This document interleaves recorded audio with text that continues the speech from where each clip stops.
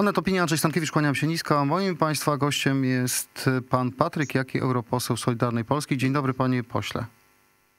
Dzień dobry panu i dzień dobry państwu. Panie pośle, jako byłego członka rządu nie obraża pana widok dwóch ministrów konstytucyjnych, którzy stoją na konferencji prasowej i pokazują zdjęcia mm, obrzydliwe, obsceniczne, które mia- mają dowodzić y, y, faktowi podejrzanej przeszłości czy podejrzanych inklinacji ludzi, którzy chcą się dostać przez wschodnią granicę do Polski?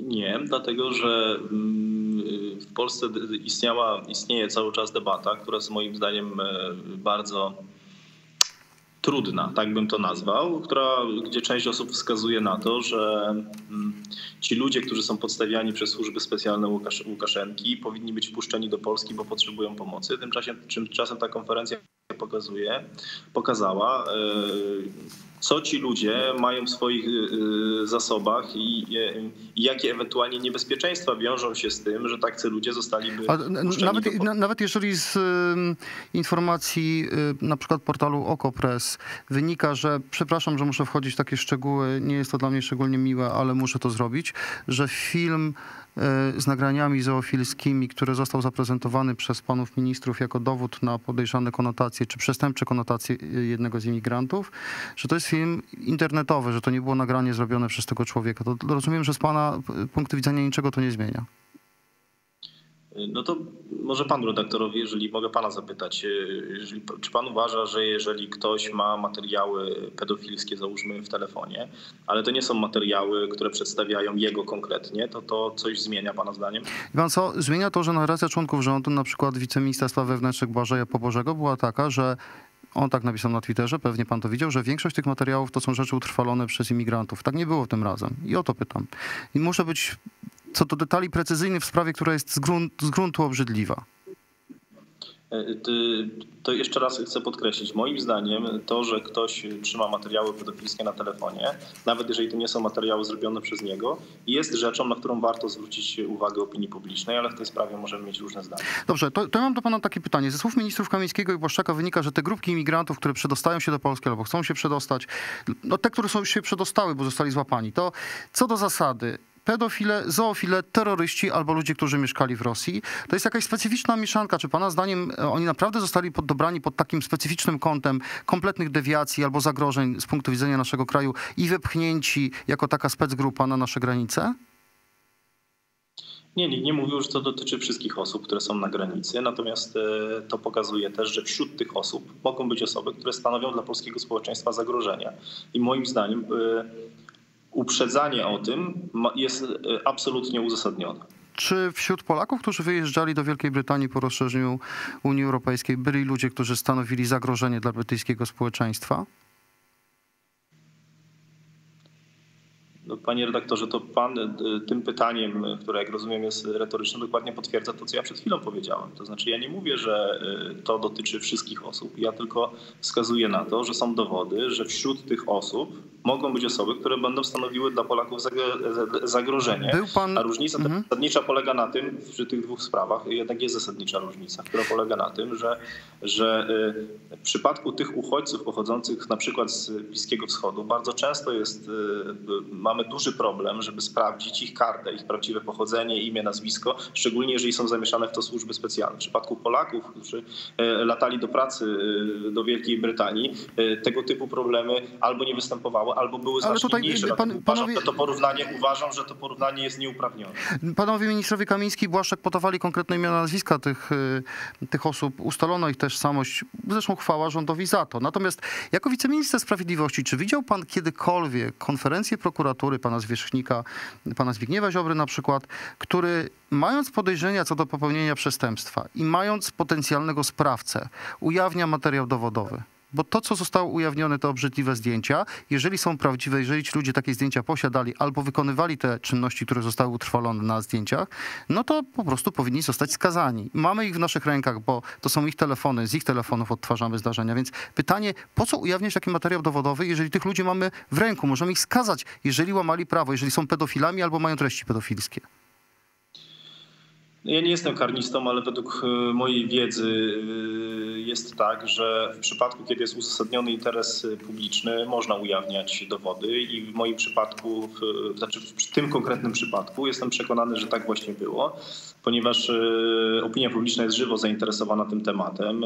Są media, które przekazują mi politycy, którzy przekazują informacje, że na granicy są tylko biedne osoby, które nie mają żadnych złych zamiarów i Ministerstwo Spraw Wewnętrznych oraz Ministerstwo Obrony pokazało, że akurat ta hipoteza nie jest prawdziwa. A to, ale mogą być tam oprócz tych, którzy są dewiantami, przestępcami, pedofilami, terrorystami, mieszkańcami Rosji, mogą tam być osoby niewinne pańskim zdaniem. Powiedział pan to także przed chwilą.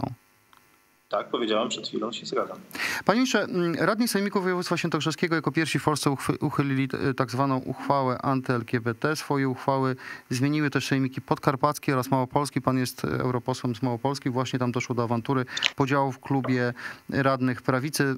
Ojciec prezydenta ojciec prezydenta jest, y, kieruje sejmikiem, był przeciwko. Y, jak pan ocenia tę postawę? Bo albo te uchwały nie były wymierzone w społeczność LGBT, tylko chroniły wartości rodzinne, tak jak wyście do tej pory twierdzili i w związku z tym nie ma powodu ich uchylać, albo jednak były wymierzone w osoby LGBT i, i uchylanie ich dowodzi na to, że jednak tak rzeczywiście było. Nie, nie było to, to uchwały oczywiście, że nie były wymierzone w osoby LGBT, a żeby kto zweryfikować, wystarczy je przeczytać. E, mianowicie te uchwały odnosiły się tylko i wyłącznie do e, zasad generalnych, które znajdują się w naszej ustawie zasadniczej, mówiącym, mówiących o tym, jak ważna jest instytucja rodziny, jej status e, w polskim systemie nie tylko kulturowym, ale również w polskim systemie. To, to, ale to dlaczego Prawo i Sprawiedliwość to, że... Y, zdecydowało się uchylać te uchwały pod naciskiem Unii Europejskiej? Dlaczego nie wytłumaczyliście Unii, my bronimy rodziny? No, to jest pytanie do polskiej, y, do przedstawicieli polskiej dyplomacji, w tym do pana na przykład ministra Szymańskiego, który rozumiem za to odpowiada. Natomiast y, ja, gdyby to ode mnie zależało, ja nigdy bym tak nie postąpił, dlatego że uważam, że to, że Polska jest jednym z niewielu państw Unii Europejskiej, która broni się przed takim e, e, neomarksistowskim zamachem na rodzinę, chociażby z, z punktu widzenia takiego, że w Polsce dalej uważamy, że, znaczy duża część ludzi przynajmniej uważa, że że są dwie płcie biologiczne, a na zachodzie już są ludzie, którzy uważają, że tam 256 czy nie wiadomo tam ile. Ja uważam, że z czasem to stanie się polską przewagą e, konkurencyjną, również jeżeli chodzi o kulturę i my nie musimy podążać za tymi wszystkimi również niemądrymi przykładami zachodu. I ta walka o, mm, o tą interpretację aksjologiczną jest jedną z bardzo ważnych części, na której gdyby to ode mnie zależało, pan redaktor, jak rozumiem, też, też ma to na, takie pytanie na myśli, ja bym nigdy tej uchwały nie, nie uchylił i głosowałbym przeciw. Ale czy to wpłynie w ogóle na współpracę waszą z Prawem i Sprawiedliwości wewnątrz koalicji? Bo PiS to uchylił po to, żeby, żeby samorządy nie straciły miliardów euro z Brukseli, bo Unia groziła, że nie wypłaci pieniędzy, dopóki te uchwały nie zostaną zmienione. I PiS okazał się pragmatyczny. Rozumiem, ale to jest różnica zdań pomiędzy nami. Nasi radni głosowali przeciwko tym tym uchwałom. Ja też uważam, że e, zachowanie polskiej kultury e, ma swoją wartość. Ona oczywiście jest trudno mierzalna, ale uważam, że w dłuższej perspektywie, jak ta nawałnica mm, kulturowa będzie trwała, to ukaże się przewagą Polski. Panie ministrze, mam w rękach taki raport, tu jest w wersji papierowej, w Gazecie Wyborczej, ale w wersji internetowej znajdzie go pan na stronach Onetu, są też informacje w Radiu Z. Tu są konkretnie powiązania w spółkach Skarbu Państwa wokół pana premiera Mateusza Morawieckiego. Zrobiliśmy taki raport o głównych politykach Zjednoczonej Prawicy i ich imperia.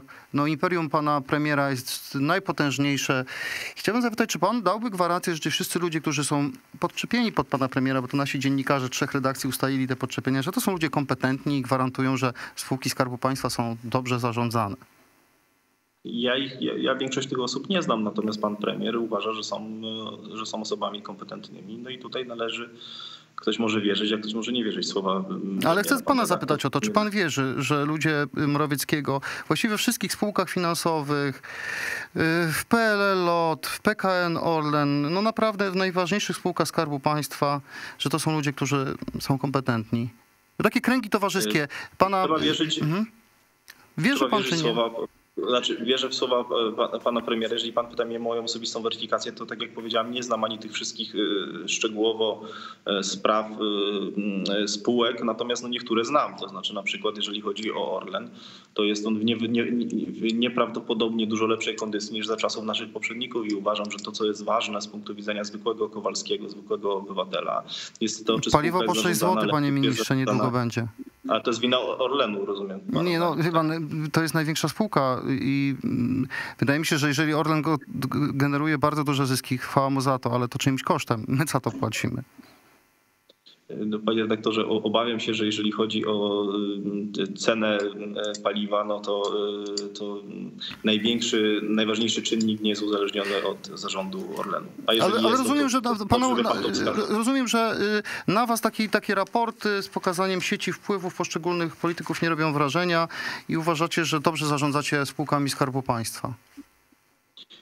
To, to jest źle zadane py- pytanie, przepraszam, to nie jest do, bezpośrednio do pana, ale mi chodzi o to, że, że mm, jakby model przeprowadzenia tego audytu, który państwo przeprowadziliście jest następujący, że w, miejscach, w których, e, które, gdzie właścicielem jest Skarb Państwa, e, są ludzie, które, którzy wcześniej, e, którzy, no, no są różni ludzie. I w związku z tym, że dzisiaj są tam różni ludzie, a rządzi Prawo i Sprawiedliwość i często no siłą rzeczy kogoś musiała tam nominować, no to to są ludzie z PiSu. A Jak to są ludzie z PiSu, panie to są ale nie, no nie rozmawiamy jak żona ministra Ziobry jest w zarządzie jednej ze spółek finansowych, to nie dlatego, że ona była urzędniczką wysłaną tam przez, przez rząd, tylko dlatego, że jest żoną Zbigniewa Ziobry, prawda? 嗯。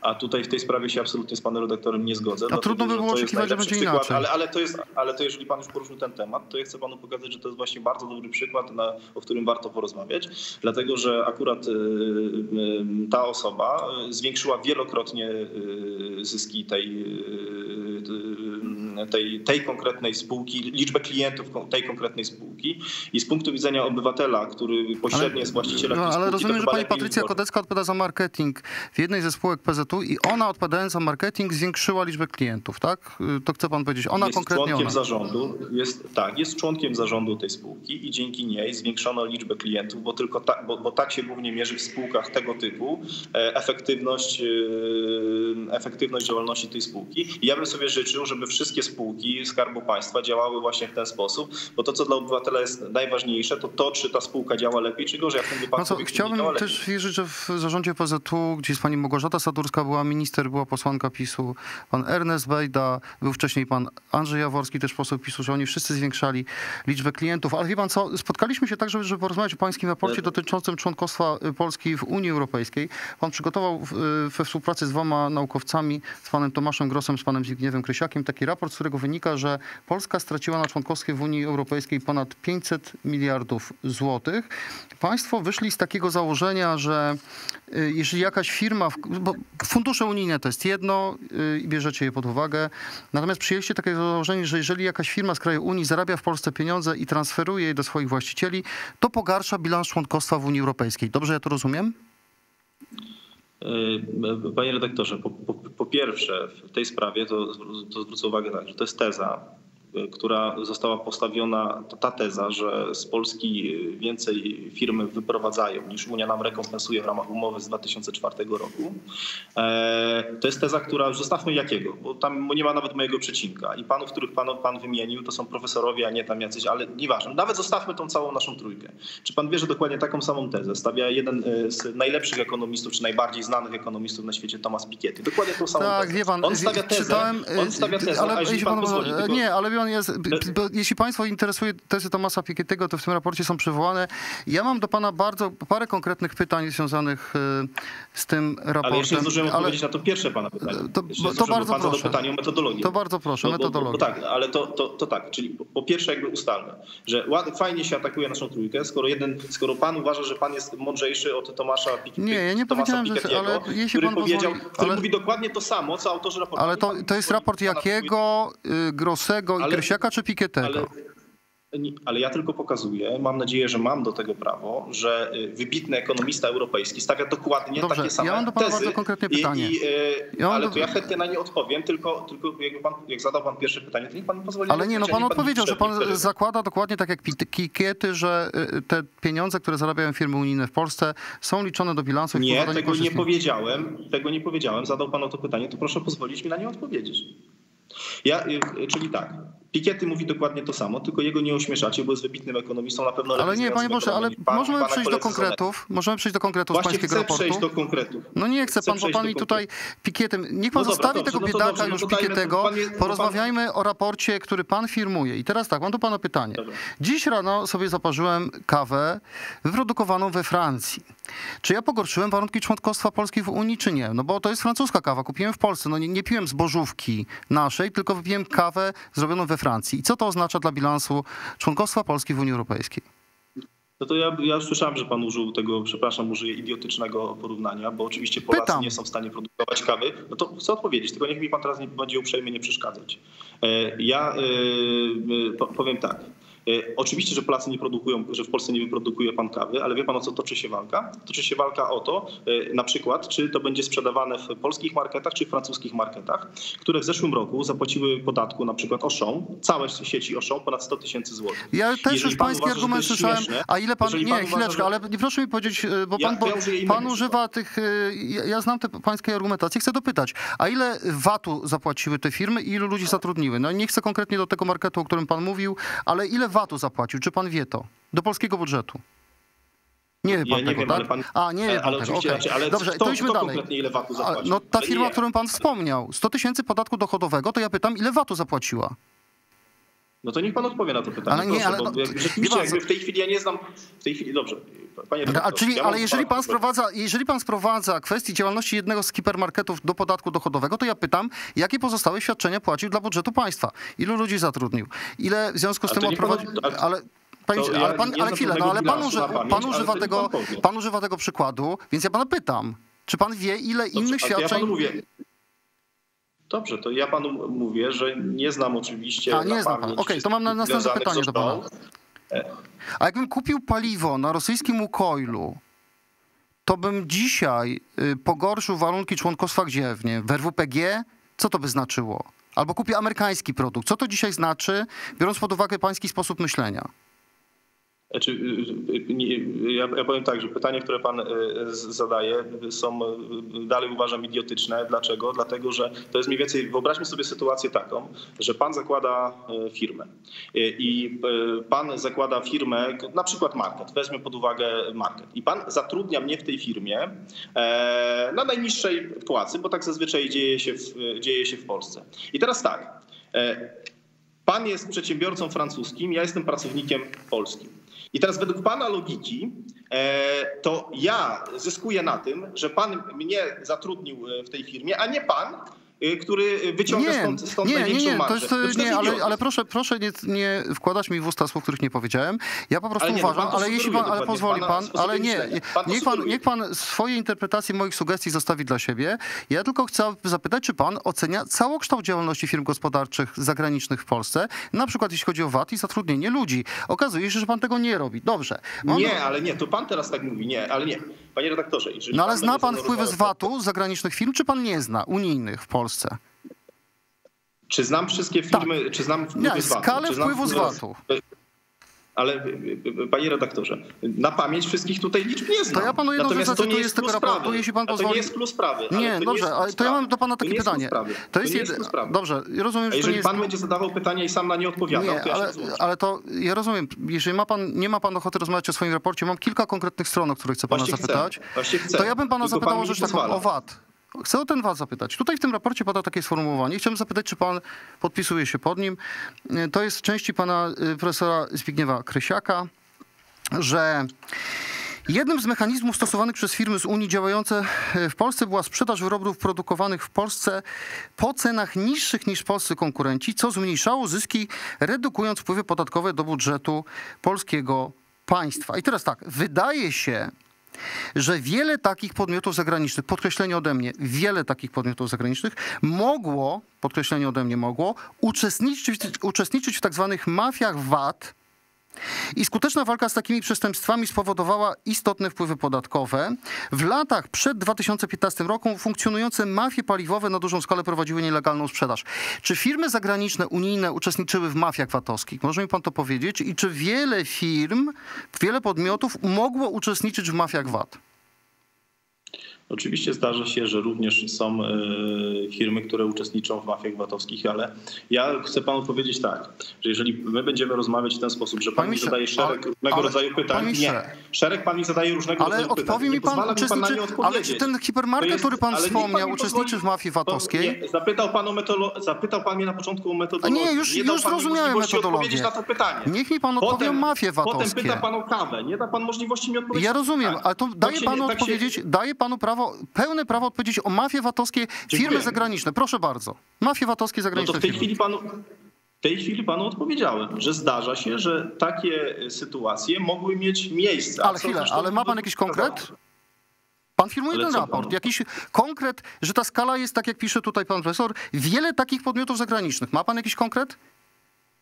Y, y, To, to znaczy tak, ja panu chcę powiedzieć, ja nie jestem autorem nawet przecinka w tym raporcie, to proszę zapytać o osoby, które tworzyły ten raport. Ja panu tylko mówię, że metodologia, że po pierwsze, jeżeli pan próbuje w ten sposób zakwestionować, że w ogóle jakieś polskie, że, znaczy, że w ogóle firmy, y, że były firmy, które miały problemy z VAT-em, to ja uważam, że pana teoria jest śmieszna. No Po drugie, chcę panu powiedzieć, że Mhm. nie da mi pan odpowiedzieć na pytanie dotyczące metodologii na początku, a szkoda. Zadał pan pytanie, nie dał pan mi nigdy odpowiedzi, bo ciągle pan mi przerywa. Wie pan co, y, ale mam wrażenie, że pan cały czas mówi o metodologii.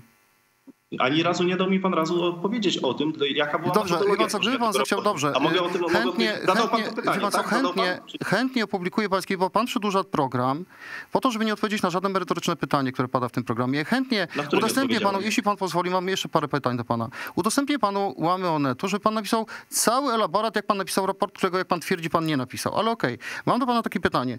Strona 50. Pan profesor Tomasz Grosek, który nie jest ekonomistą, tylko socjologiem i politologiem, pisze tak.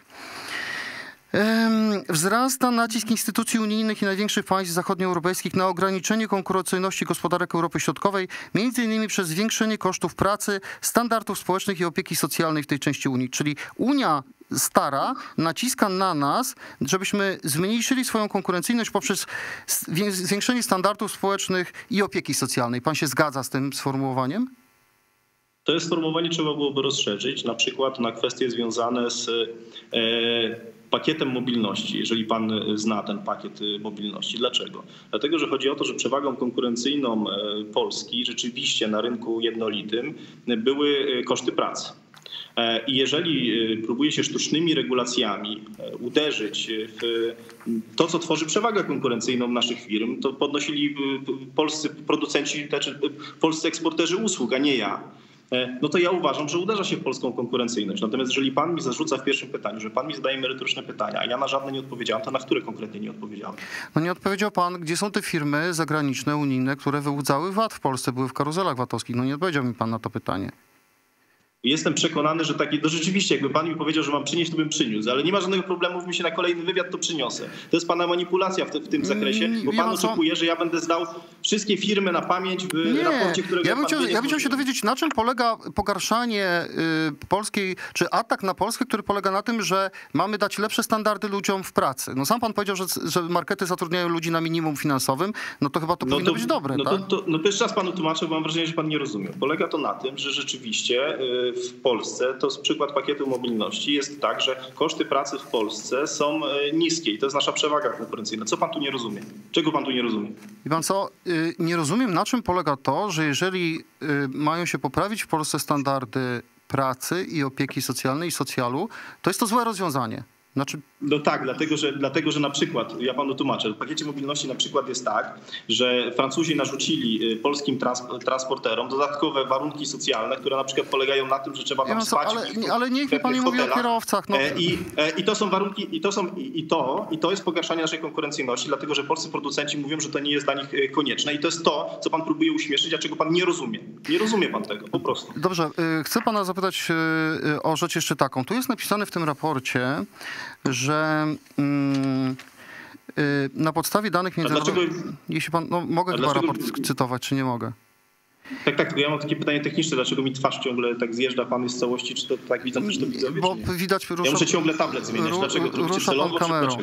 Jeśli pan pozwoli, czy zgadza się pan z tym, że mm, wzrost gospodarczy w Polsce podczas transformacji przed przystąpieniem do Unii Europejskiej był bardziej korzystny. To znaczy, że myśmy lepiej rośli przed przystąpieniem do Unii Europejskiej niż po przystąpieniu do Unii Europejskiej. To już będzie ostatnia kwestia, gdyby pan zechciał się do tego odnieść.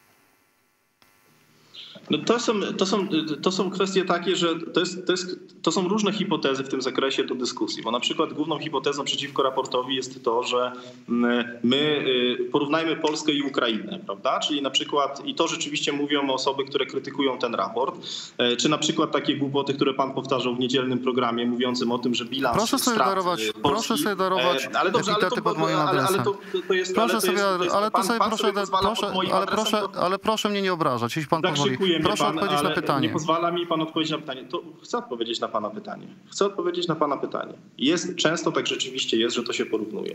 I to jest tak, że są osoby, które wskazują na przykład na to, że polskie PKB, przed, y, że polski wzrost gospodarczy przed przystąpieniem do y, Unii Europejskiej były momenty, że był wyższy niż na przykład kiedy byliśmy w Unii Europejskiej, e, na przykład za czasów rządu Platformy Obywatelskiej. I to są chyba twarde dane, chyba pan się z tym zgodzi.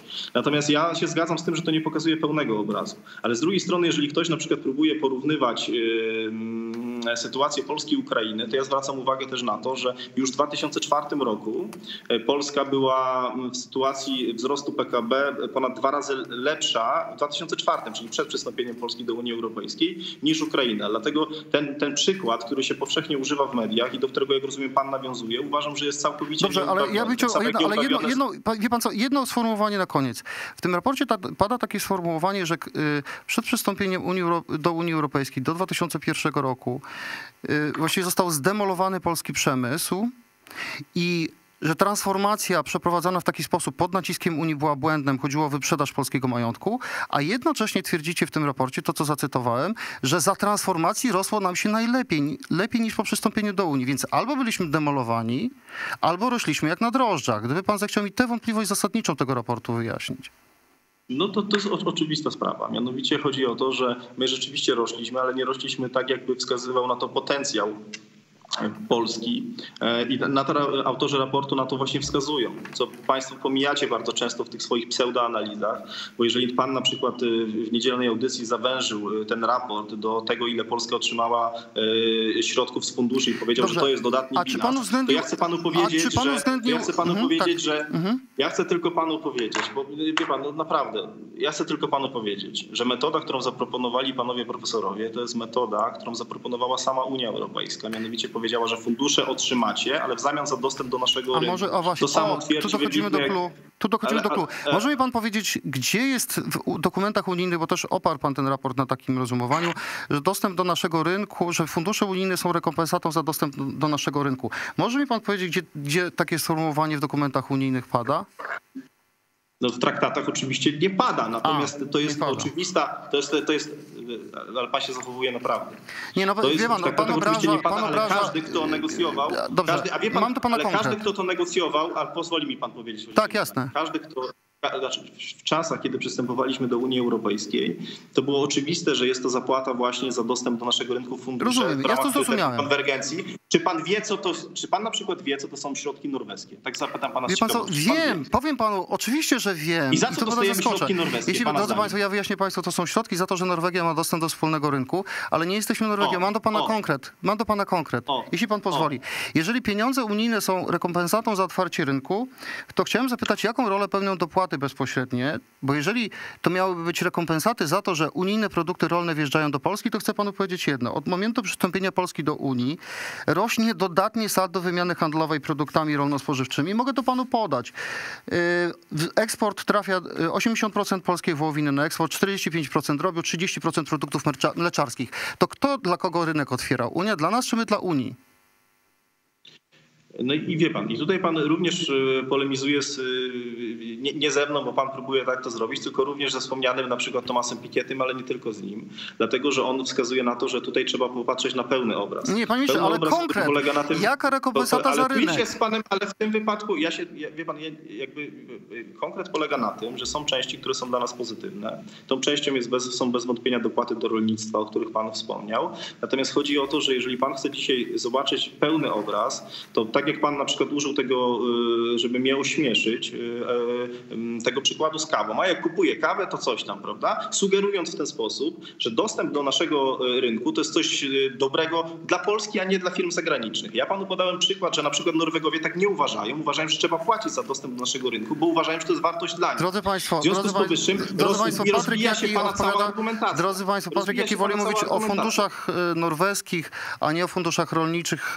Powtarzam, Ale to jeżeli... nieprawda, no powiedziałem panu, że w tej sprawie się z panem zgadzam. Dlaczego pan interpretował, pan- teraz wyłożył interpretację czegoś, co się nie wydarzyło, żeby znów mnie obrazić. Drodzy to jest Państwo, nie, nie, nie, drogi Panie, powiedział Pan, że Unia otwiera fundusze, y, że daje fundusze za otwarcie rynku. Podałem Panu Nie, nie, przykład, że tak rynek nie jest. powiedziałem. Nie, Drodzy Państwo, ale co nie jest? Pan uważa, że, pan uważa, że co? Że pan uważa że naprawdę, że y, Unia nie otworzyła, na, znaczy Unia nie płaci funduszy za dostęp do naszego rynku? Nie, proszę pana, nie ma nigdzie. Nie, proszę pana, ale wie, ale wie pan co, nie chcę tego programu przedłużać, bo myślę, że słuchacze są już nie? Zmęczeni. Wie pan ja panu powiem, bo wydaje mi się, że jako europoseł pan powinien wiedzieć. Yy, Jeżeli chodzi o fundusze pomocowe, fundusze spójnościowe, to chodzi dlaczego o wyrównanie, yy, na pewno robimy to tendencyjnie, chodzi o wyrównanie poziomu życia w Unii Europejskiej. Odsyłam pana do pierwszych zajęć europeistyki na pierwszym roku studiów. Patryk, jaki europoseł był Ale, moim jest to, gościem. ale, ale y, to, jest, to jest, jest pan na końcu, na, na końcu tak, na końcu pan mnie Panie, obraził. panie, ale pan mnie wcześniej E, obrażał. Stosując nieprawdziwe porównanie, Drodzy- drogi panie, drogi panie, obraził panie mnie ministrze, pan na sam koniec. Pan mnie obrażał o wiele pan wcześniej, zarzucając mi na- mówienie nieprawdy. Obraził mnie pan na sam koniec. Pan mnie obrażał o wiele wcześniej, jeśli pan pozwoli. A, a mogę jeśli, 30 panie jeśli pan pozwoli, koniec? nie chcę pana, 30 sekund drogi pan, panie ministrze, nie chcę pana obrażać. Wszystko, co powiedziałem w tej audycji było próbą dowiedzenia się od pana informacji, których pan mi podać nie chciał. I powtarzam, fundusze, panu jeśli pan pozwoli, ale, ale nie chcia, chciałbym, jeśli pan pozwoli, chciałbym się dowiedzieć na przykład, jaka jest lista firm y, unijnych kradnących VAT. To pan ciągle do tego podał wraca. Pan. No to no ale, rzeczy- nie- panie ministrze, no ale nie podał pan. Podałem przykład, że fundusze rolne służą czemuś pan, innemu niż czemu- otwarciu rynku. Panie ministrze, kończymy tę audycję, bo trudno się z panem, Nie, nie, trudno nie, się z panem rozmawiać. jest- Jeśli pan pozwoli. Ten, ten drugi ministrze, przykład jest... Fundusze Ale- mogę ja spójnościowe powiedzieć na służą. koniec, pan tak- Nazwa, panie ministrze, nazwa fundusze spójnościowe z czegoś wynika. Chodzi o wyrównanie jest- poziomu życia. Panie ministrze, A czy mogę coś powiedzieć na koniec, czy nie? tak, bardzo proszę. E, e, Każdy z Państwa mógł podczas tego wywiadu zobaczyć, że Pan na przykład zadaje trzy pytania, a nie pozwala mi odpowiedzieć nawet na jedno pytanie. Odpowiedziałem na Pana Panie wszystkie pytania, ale rzeczywiście poza nie- konkretnymi firmami, poza, poza, konkretnymi fi, poza konkretnymi firmami, które wyciągają z VAT, bo jakby mi Pan powiedział, że mam takie przynieść, to bym Panu przyniósł do programu. To ja bardzo proszę, pan panie ministrze, żeby pan przyniósł te, Natomiast żeby pan przyniósł te firmy. Bardzo bym prosił, te, które wyłudzają VAT, będę bardzo zobowiązany.